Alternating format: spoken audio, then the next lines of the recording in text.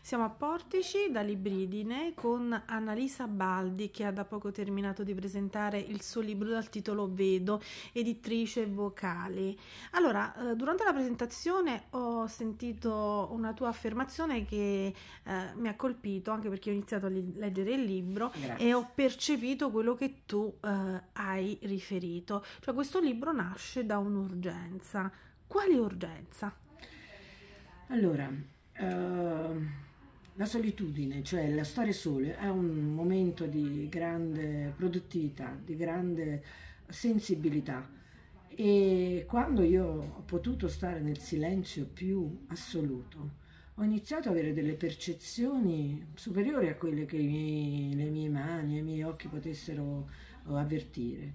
Per cui uh, ho, ho, ho, avvertito una sensazione uh, quasi tattile del dover esprimere una storia che aveva radici antiche, ma non lo sapevo ancora.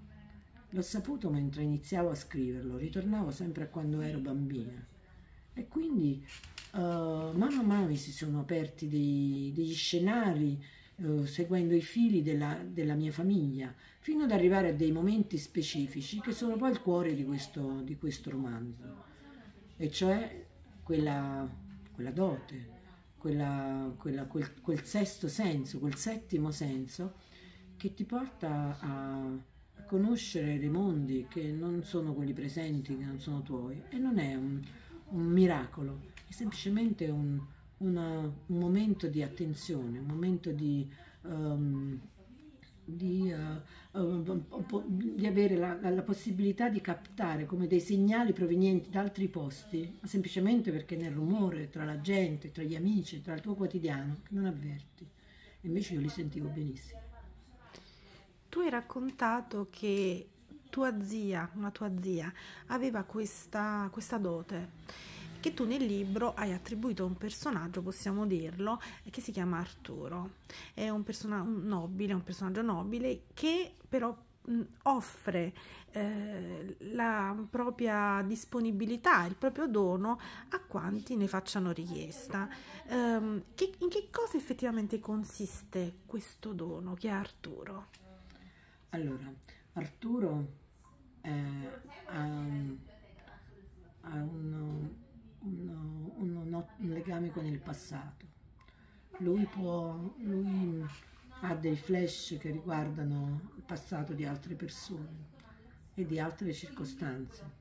Queste, lui non sa chi sono le persone, non conosce i luoghi, ma li conserva e sa di doverli utilizzare che, perché questo è un destino non compiuto. Quindi lui è, un, è soltanto un messaggero di cosa la storia vuole, la storia vuole completarsi, quindi spinge su di lui affinché incontrando il destinatario di questo messaggio lui possa concludere la storia. La storia si riposa e il personaggio, cioè la persona che riceve il messaggio, ha una, una positività, una, un, un, qualcosa che lo aiuta a migliorare il suo stato di esistenza e lui l'ha imparato eh, grazie anche all'aiuto di un signore che vive nel suo quartiere che lo portava con sé, un pacere originale che, che appianava liti tra le persone, riconoscendogli doto, questa dote che eh, Mm, presa male potrebbe essere, poteva diventare anche altro, ma mm, diciamo con, la, con l'eleganza, con la cultura di quest'uomo, con la delicatezza di quest'uomo, ha potuto diventare una ricchezza per lui e per, per quelli che lui incrocia sulla strada. Per questa sua caratteristica, sensibilità, come dir si voglia, Arturo ehm, incontra tante persone che eh, raccontano quella che è la propria vita, la propria esistenza in quel momento.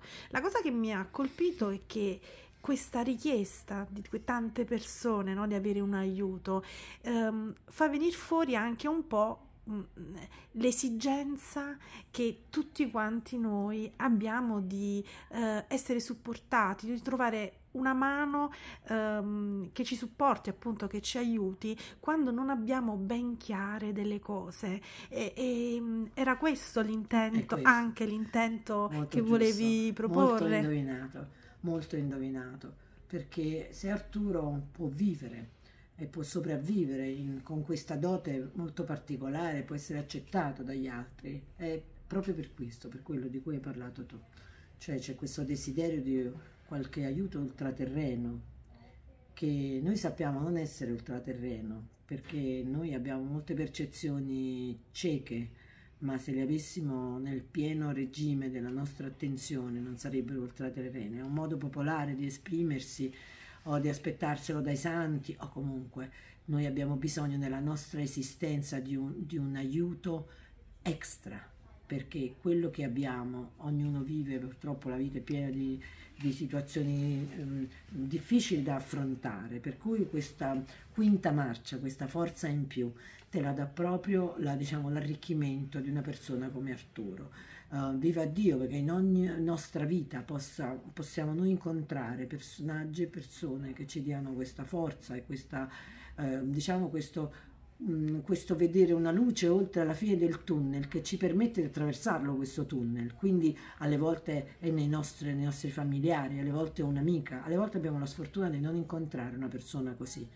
È una persona che uh, ha già una percezione migliore di noi perché noi siamo dentro il problema quindi siamo ciechi ciechi delle nostre disperazioni ma chi è libero e ha la mente libera ha la possibilità di leggerci con maggiore facilità, meglio ancora ad avere qualche dote più di maggiore sensibilità, perché ci permette di, darci, di dare una spiegazione al nostro vissuto e al nostro imminente futuro.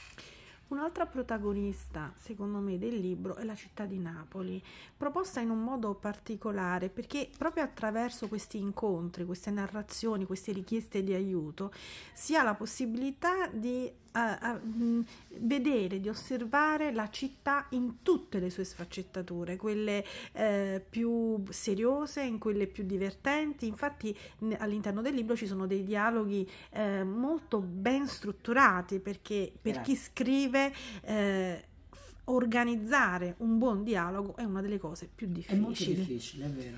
E la città di Napoli si sente che tu hai questa eh, propensione per Napoli e anche per, eh, ne parlavamo precedentemente, mm. per la costiera amalfitana. Allora, io sono una cittadina del sud, 100%, lo sono di radici, di DNA, lo sono di connessioni, lo sento. E, e, e lo sente chiunque mi, mi, passi davanti, chiunque mi frequenti in, a qualsiasi latitudine.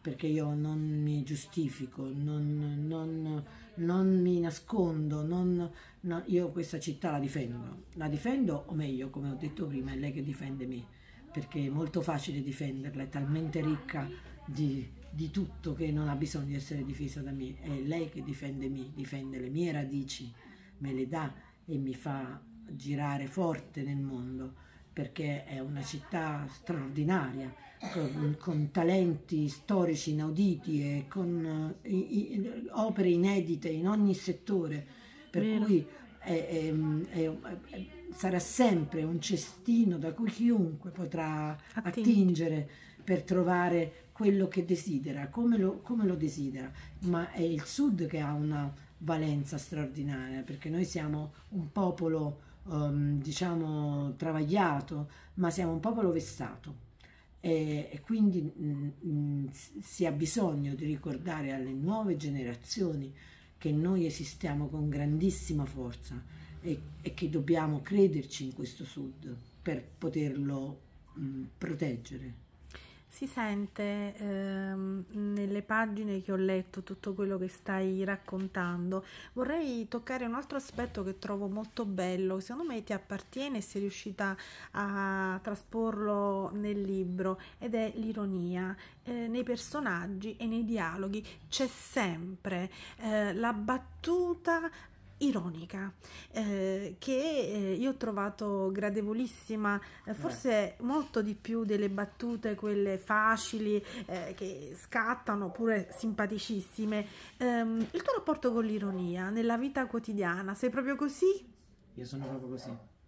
Anzi, io non potrei vivere una vita piatta senza ironia, perché l'ironia dentro c'ha tutto, c'ha l'intelligenza, c'ha la frutta, c'ha la verdura, c'ha, c'ha il vento, c'ha il mare. L'ironia è l'ossigeno, non si può stare senza, perché non esiste, non c'è nessun argomento che meriti la pena di avere un carico da 90.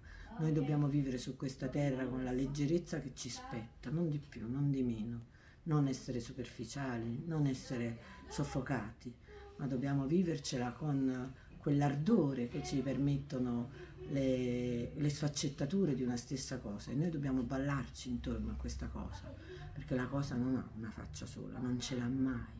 E l'ironia serve proprio a questo, a fare questa danza. E per me è indispensabile. Il libro ha momenti mm, forti sì. eh, che, che, che, uno magari li prende anche un pochino alla leggera. Invece io tocco argomenti mo molto brucianti che bruciano più del legno vecchio. Ma se non ci fosse stata l'ironia, ah, ah, mi sarei depressa, non avrei visto via di uscita e non avrei dato via di uscita. Invece l'ironia è pure speranza, eh, perché nell'allegria c'è la speranza del domani. Io devo andare a letto col sorriso, mi devo svegliare col sorriso perché domani mi aspettano tantissime cose. C'è anche un'attenzione all'ambiente ehm, tanto bistrattato e di cui si parla tantissimo. Diciamo che c'è tanto in questo libro. Vorrei concludere con una considerazione e chiederti se è sbagliata uh, oppure ci ho voluto vedere io anche questo aspetto.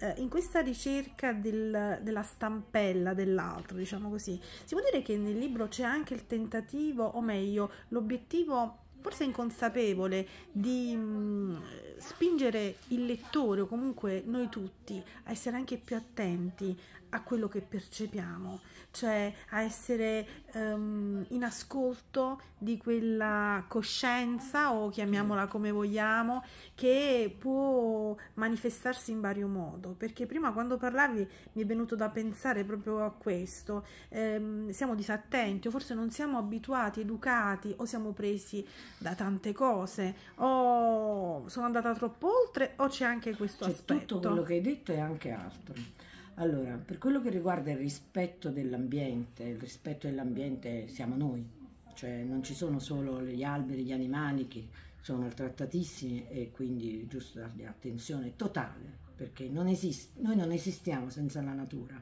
cioè un mare sfruttato e non protetto, non è mare, è acqua, un, un bosco che viene bruciato o, o viene abbattuto per, per, costruzioni, per cemento, eh, danneggia prima di tutto noi una città poco rispettata è una città che non ci permette di vivere tranquillamente, quindi questo ci danneggia direttamente. Ma ehm, le, le, diciamo, la sensibilità di a cui ti riferivi è una percezione che in parte tu hai dal DNA, perché è di famiglia, è familiare, viene da molto lontano, potrebbe venire da Adamo ed Eva, perché noi siamo proprio delle discendenze, dire, il nostro DNA si segue di padre in figlio da generazioni, da migliaia di anni. E in parte avviene con l'educazione.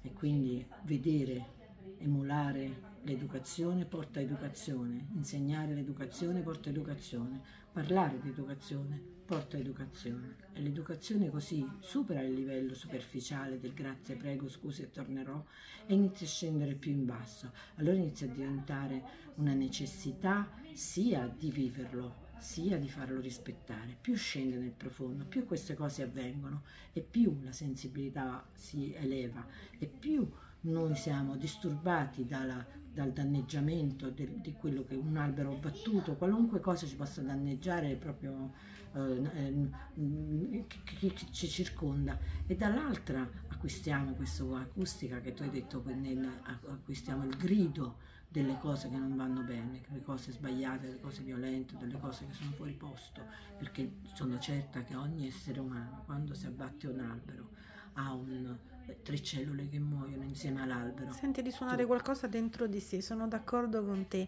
Annalisa, sei stata gentilissima. Tu Io anche. consiglio di leggere questo libro per la gradevolezza, Grazie. ma anche so perché eh, attiva tante riflessioni e la lettura in fondo non è altro che questo. Quindi vedo vocali editrice. Annalisa Grazie. Grazie infinite e buona serata a tutti.